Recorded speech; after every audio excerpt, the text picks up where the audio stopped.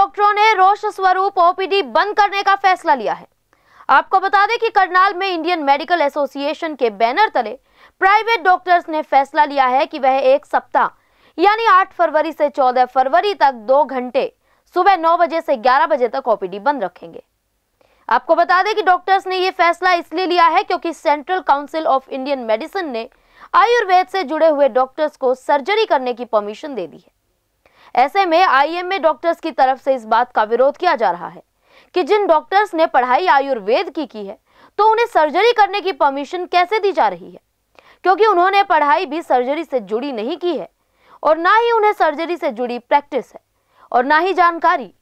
अगर कोई केस खराब होता है तो उसका प्रभाव डॉक्टरी प्रोफेशन पर पड़ेगा, जिसका खामियाजा आने वाले समय में सबको उठाना पड़ेगा।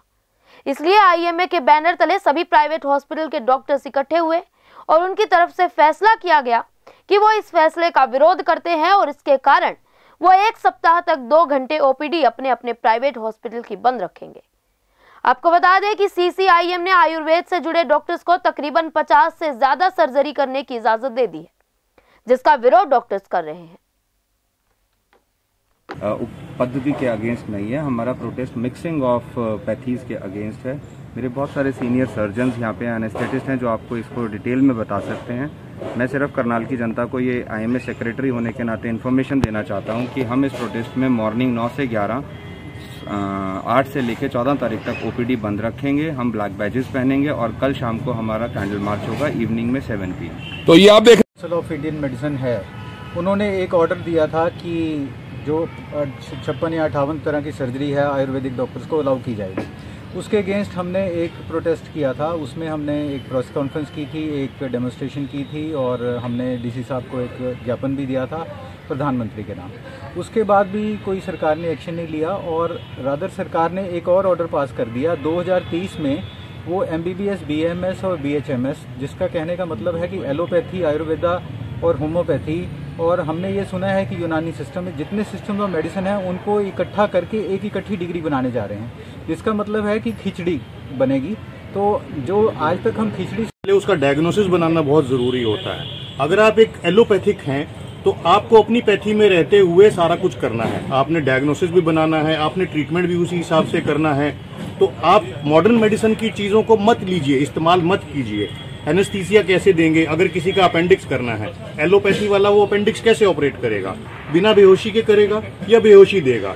बेहोशी देगा तो क्या वो जड़ी बूटियाँ सुंघा के देगा? ये किस तरीके से देगा? उसको मॉडर्न मेडिसिन के डॉक्टर्स का इन्वॉल्वमेंट नहीं होना चाहिए।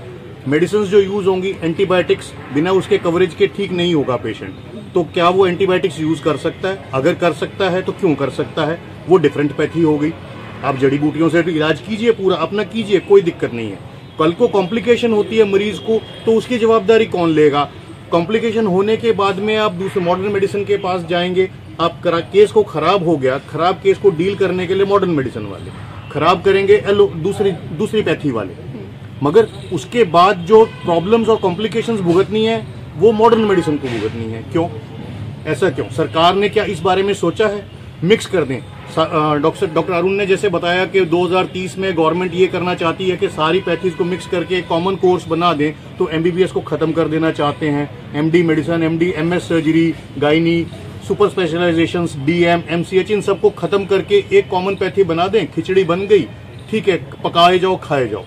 क्योंकि गवर्नमेंट हेल्थ केयर इंफ्रास्ट्रक्चर पे हेल्थ केयर पे पैसा खर्च नहीं करना चाहती है तो वो इस तरीके की पॉलिसीज़ बना रही है कि कम से कम खर्चे में आदमी लोगों को मैक्सिमम सुविधा दे सके, मगर ये सुविधा नहीं है, असुविधा रहेगी।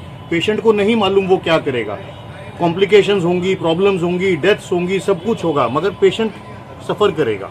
तो हमारा कहना ये है, अगर आपको ये सब करना ही है तो एक डिफरेंट कर दीजिए कि आप क्रॉसपैथी नहीं कर सकते।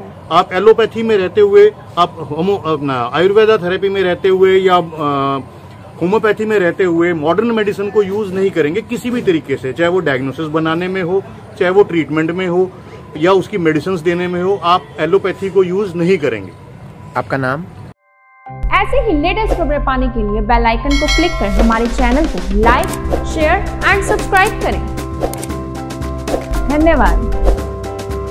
JBD Banquets laaye hain incredible marriage palace Rajgharana and the finest banquet hall Jyoti Garden. World-class catering, centrally air-conditioned, lush green lawns, state-of-the-art lighting. A perfect venue for wedding, launching and parties. Rajgharana and Jyoti Garden at JBD Banquets Enterprise.